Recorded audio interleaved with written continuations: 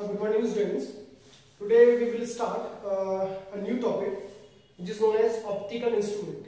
Now is uh, the topic mentioned as optical instrument. Optical means related to eye and instruments means ये तो आप सभी को पता है instruments जैसे कि अगर हम बात करें कुछ एग्जांपल्स की ऑप्टिकल इंस्ट्रूमेंट्स के अंदर जो टॉपिक्स हमने कवर करने हैं इस चैप्टर में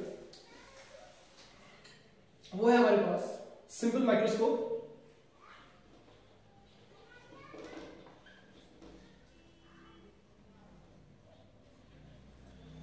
compound microscope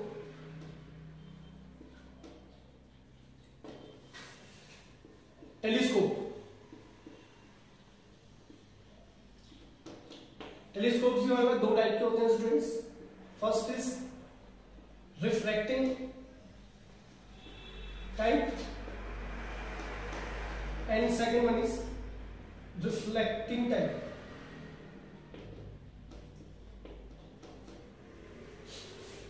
तो इन टॉपिक्स को हमने ऑप्टिकल इंस्ट्रूमेंट्स के अंदर कवर करना है तो जैसे हम बात कर रहे हैं यहाँ पे टेलीस्कोप्स की तो दो टाइप कैटेगरी होती है इसमें रिफ्रैक्टिंग टाइप और एक होती है रिफ्लेक्टिंग टाइप तो स्टूडेंट्स आपको अगर थोड़ा पता होगा रिफ्रैक्टिंग इंस्ट्रूमेंट्स की हम बात करें तो रिफ्रैक्टिंग इंस्ट्रूमेंट्स को बनाने के लिए हम यूज़ करते हैं लेंसेज का. आपने लेंस के बारे में पढ़ा हुआ है.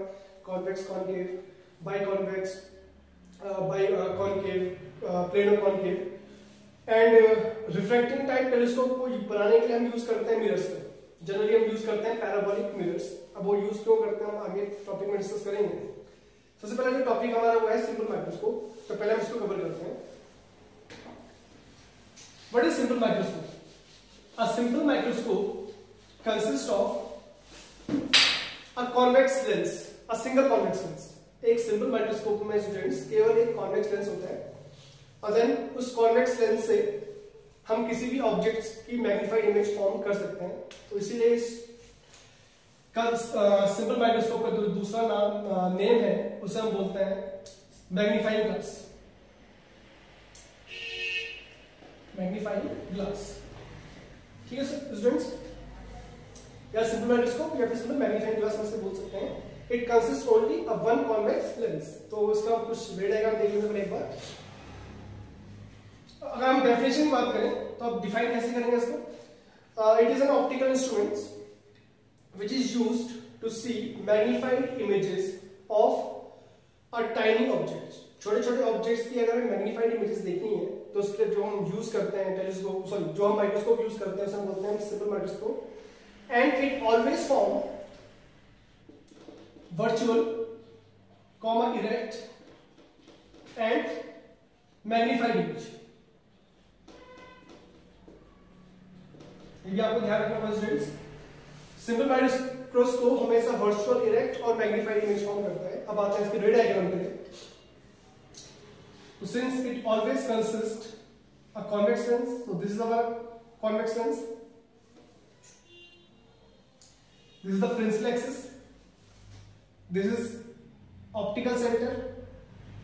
throw o and suppose an object is placed in front of it. This is a tiny object whose virtual image is formed by the convex lens. This is our object AB.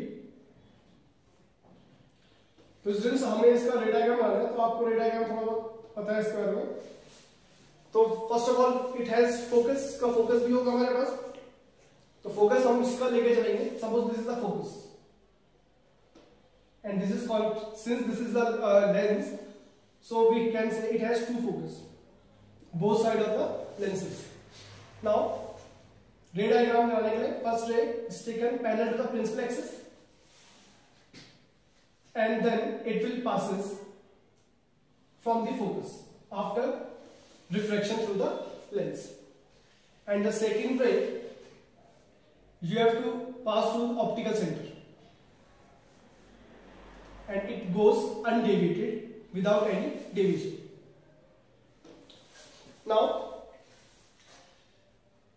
as you uh, know that when the object is placed between the focus and the optical center, the image formed by the convex lens is always virtual देखिए आप आगे आके raise wider हो रही है तो आगे तो इसकी इमेज बनेगी नहीं तो उसके लिए हमें इसे रेज को पीछे प्रोड्यूस करना पड़ेगा तो हम इसकी पीछे की तरफ़ इसकी इमेज बनाएँगे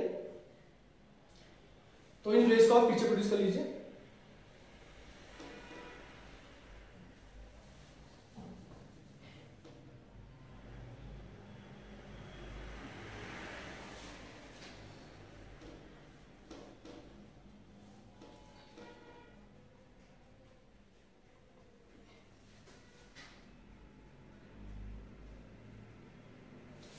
तो स्टूडेंट्स ये हमने दोनों रेस वर्चुअली मीट करवा दी हमने।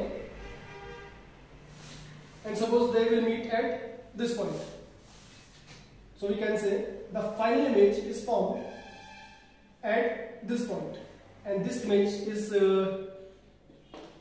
written as A dash B dash A B is the object whose virtual image is form at A dash sorry whose virtual image is form is formed and uh, the image name is given as a dash b dash.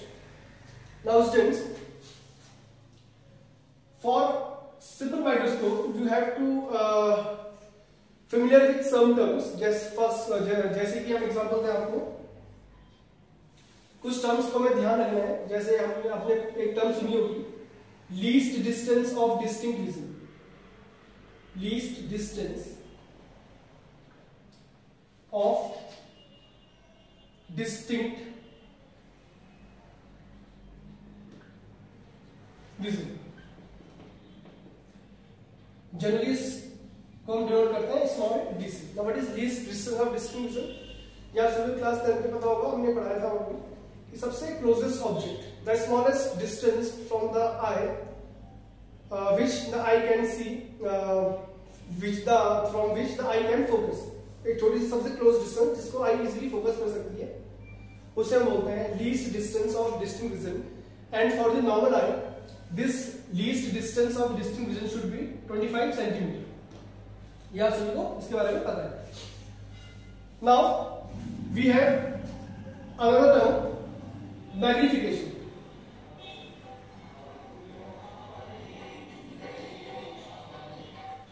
और simply angular magnification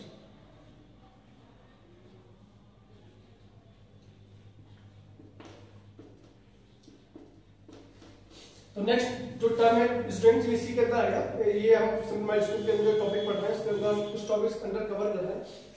तो जैसे ये angular magnification topics में आता है, अब आपको usually पता है क्लास 10 में हमने पढ़ा था मैग्निफिकेशन बारे में। What is magnification it is defined as the ratio of size of image to the size of object तो वैसे ही हमें यहाँ पर भी देखना है in this case first simple microscope the magnification और the angle magnification is defined as the ratio of angles subtended by the final image and the angle subtended by the object when both are situated at the least distance of distinct vision I repeat It is defined as the ratio of angles subtended by the final image and the object at the eye at the eye uh, when both object and image are situated at the least distance of distinct vision. Now students, जब हम कोई magnifying glass use करते हैं तो आपने कभी observe किया होगा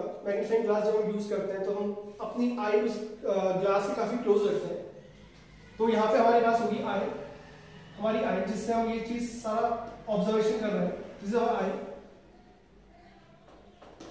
and this is eyepiece और सिंपली से लेंस तो students what is magnification what is angle magnification it is defined as the ratio of angles angles का रेशियो स्टूडेंट्स किस एंगल का रेशियो जो फाइनल इमेज सबटेंड करेगी अपॉन जो object subtend करेगा at the eye So since students the eye is very close to this eyepiece, so we can say the angle subtended at the eyepiece is taken on the eye. तो ये काफ़ी close होती हैं। जब भी आप magnifying glass use करते हैं तो आपका आई पीस और आपका जो आई है वो काफ़ी क्लोज होती है। तो जो भी एंगल सबटेंड होंगे इस आई पीस में उसी को हम कहाँ पे एज्यूम करते हैं कि वही एंगल आई पे भी सबटेंड होने हैं। बट प्रॉब्लम यहाँ पे ये आती है कि by definition both object and image are situated at the least distance of distinct vision मतलब दोनों ही कहाँ पे होने चाहिए डी पे होने चाहिए। What is D twenty five centimetre तो हमारा एम होगा यहाँ पे स्टूडेंट्स की जो इमेज बनी है हमारी फाइनल इसको हम कहाँ पे क्रिएट करें? Least distance of distinct vision मतलब डी पे। या को ध्यान रखना स्टूडेंट्स फाइनल इमेज हम फाइनल इमेज जो हम क्रिएट करेंगे, इस इस टाइनी ऑब्जेक्ट की, उसको हम आई पीस से हमेशा 25 सेंटीमीटर दूर ही प्लेस करेंगे फॉर्म करने की कोशिश करेंगे। तो ठीक है, हमने इमेज तो 25 सेंटीमीटर पे बना दी बट जो हमारा ऑब्जेक्ट है वो तो 25 सेंटीमीटर नहीं है। और डेफिनेशन के अकॉर्डिंग दोनों ही ऑब्जेक्ट और इमेज दोनों ही कहाँ पे होने चाहिए? डी पे होने चाहिए। तो इसलिए हम ऑब्जेक्ट को पीछे प्रोड्यूस कर लेंगे so now this is our object A one B dash अब ये आ गया हमारे पास. This is our object and is shifted to least distance of distinct now this is our final image this is the final image and this is the angle. Subtended by the final image at the eyepiece. And this angle is taken as beta. तो ये जो image है student final image ये इस eye lens पे या फिर इस आई पे जितना भी एंगल बना रही है, उसको हमने एज्यूम कर लिया beta and now this is our object इसको हमने डी पे शिफ्ट कर दिया है अब ये कितना एंगल क्रिएट करेगा उसको भी हमें ड्रॉ करना पड़ेगा इस आई पे so this angle is taken as alpha image, uh, the angle subtended by the final image at the eyepiece is taken as beta and the angle subtended by the object when situated at least distance of distinct vision is taken as alpha. So by definition, the magnification of this lens, sorry, of this eyepiece is uh, defined as beta upon alpha. अभी definition आपको मैंने बताई थी students ratio होता है angles का जो image subtend करेगी आईपीएस पे और जो ऑब्जेक्ट सब्टेंड करेगा आईपीएस पे उनका रेशियो बट कंडीशन ये है कि दोनों ही कहाँ पे चाहिए least distance of distinct vision now since this object is very tiny तो इसकी इमेज बहुत छोटी होगी हम कह सकते हैं सिंस एंगल्स आर स्मॉल क्योंकि एंगल्स बहुत छोटे हैं यहाँ पे स्टूडेंट्स देखो स्टूडेंट्स हम जनरली हम क्या यूज़ करते हैं? टाइनी ऑब्जेक्ट्स अगर बहुत छोटे से ऑब्जेक्ट्स हैं या हम यूज़ कर रहे हैं माइक्रोस्कोप का तो बहुत छोटे से ऑब्जेक्ट्स वन और टू सेंटीमीटर ऑब्जेक्ट को मैग्नीफाइड करने की कोशिश करेंगे. तो यहाँ पे देखिए वन और टू सेंटीमीटर ऑब्जेक्ट बहुत छोटे होंगे. तो अगर ये ऑब्जेक्ट छोटा होगा तो हम कह सकते हैं कि जो इमेज जो एंगल होगा, वो भी बहुत छोटे होंगे. सेम अल्फ़ा भी छोटा होगा बीटा भी बहुत छोटा होगा. तो अगर एंगल छोटे हैं तो हम यहाँ पे रिप्लेस करेंगे बीटा को टेन बीटा से एंड अल्फ़ा को रिप्लेस करेंगे हम अप्रोक्सीमेटली टेन अल्फ़ा से। So the formula of magnification becomes m is equal to 10 beta upon 10 alpha ठीक है स्टूडेंट्स ये बन हमारा फॉर्मूला मैग्निफिकेशन का। Now we have to replace 10 beta and 10 alpha from the triangles so, students अगर आप ध्यान से देखिए in triangle A B C sorry this point O is taken as C this is optical centre उसको हम CC note कर लेते हैं। In triangle A B C what is ten metre अब वो दिख रहा है student A B C triangle है. This is beta angle this is perpendicular this is base this is height we can see beta is equal to perpendicular upon height what is perpendicular of triangle A B and base is B C similarly in triangle A1 B dash C A1 B dash C ये पूरा triangle here this is the angle alpha and this is perpendicular a1 b dash is perpendicular b dash c is the base so we can say 10 alpha is equal to perpendicular which is a1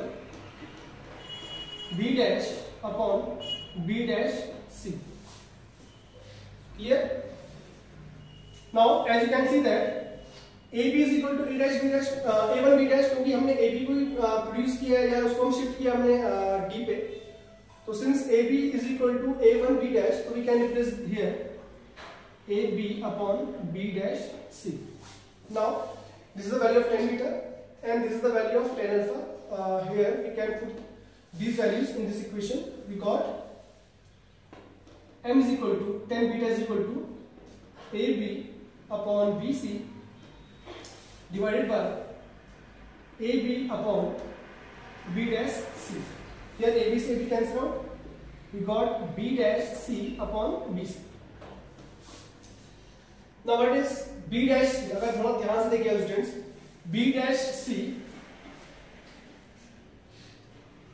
sorry this is the image not object b is equal to minus d and this is the object bc is your object u तो गलती students को आप सही कर लीजिएगा B C is the object distance और B dash C is the image distance सी तो here we can replace that B dash C is equal to minus B and B C is equal to minus C अब इसमें minus sign क्यों आए तो आपको इसको थोड़ा साइन कन्वेंशन पता होंगे आपको इसके बारे में।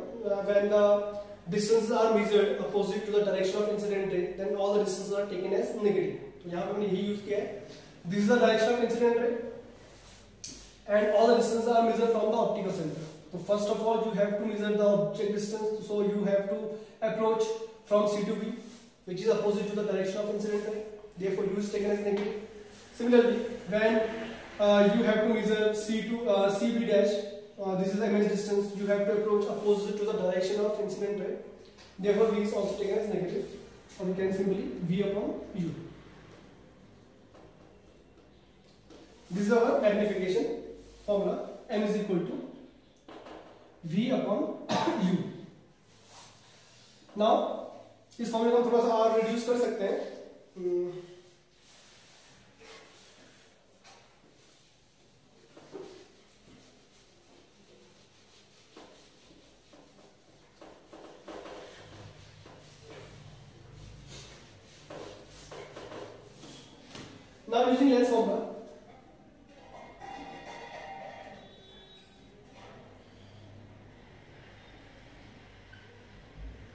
What is lens formula?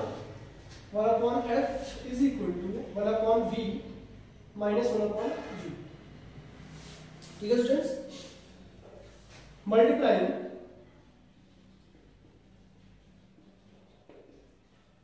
both side by v. आप बोथ साइड u और v किसी का मल्टीप्लाई कर सकते हैं। मैंने फ़िलहाल v का मल्टीप्लाई कर लिया।